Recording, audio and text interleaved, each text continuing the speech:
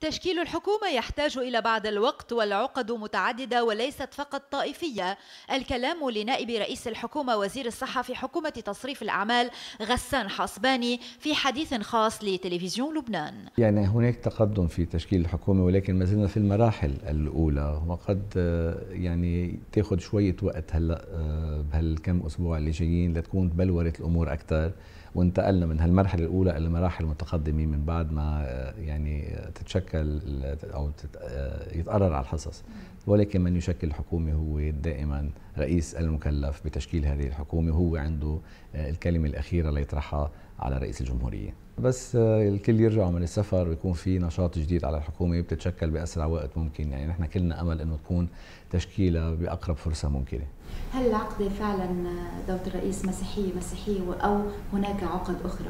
لا هناك عقد متعددة نعم. مش بس عملية مسيحية مسيحية وليست عقد طائفية وليست مرتبطة فقط بالحصص الأفرقاء المختلفين في أمور يعني كثير متشعبة ولكن هذا يعود مثل ما قلت لدولة الرئيس هو بيعالجها بطريقته خطوة خطوة وهذا قد يؤخر الحكومة ولكن لا يقف أمام عدم تشكيلها في محاولات كثير لتقليص حجم القوات ونوعية الوزارات بالحكومة إلى آخره. وفي حملات كثير موجهة بوضوح ضد القوات اللبنانية لتشويه سلطتها ولإحراجها وإلى آخره. ولكن بالنتيجة تشكيل الحكومة سيحصل بطريقة عادلة للجميع.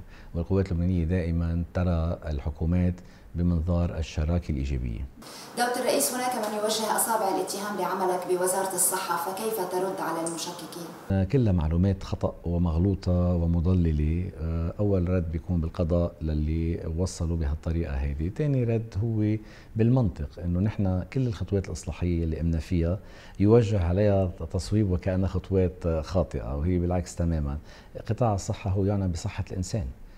لما نقول عدد أسرة المستشفيات نحن عم نطلع على العدد الفعلي مش المسجل بالنقابة لأنه أه بيسجلوا أقل حتى ما يدفعوا رسوم بالنقابة. نحن جبنا الحجم الفعلي لأن بدنا نطبب ناس نحن ما بدنا نشتغل عملية ورقية.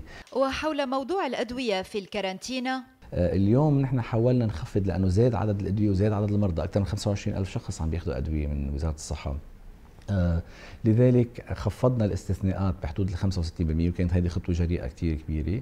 آه إضافة خفضنا الاستعمال العشوائي للأدوية لأنه حطينا بروتوكولات جداد وصرنا عم نطلب الأدوية حسب الحاجة لحتى ما يصير فيهم هدر. لكن لم تنقطع الأدوية اطلاقا. ولكن بدون موازنات إضافية سيكون هناك مشكلة كبيرة بالقطاع الصحي مش بس على أيامنا على المدى البعيد يجب أن تعالج الوزير حسباني العائد من نيويورك بعد ترأسه وفد لبنان وتمثيله منطقة الإسكوا تحدث عن التنمية المستدامة 2030 ودعم لبنان دوليا.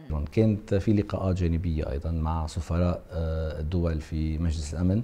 وطرحنا المواضيع الأساسية للبنان كموضوع ضرورة عودة النازحين بأسرع وقت ممكن وعودة آمنة النازحين السوريين. طبعا كلهم عم ينظروا لحلول عملية أن يكون هناك حلول عملية منطقية وسريعة والهدف أن تكون عودة آمنة.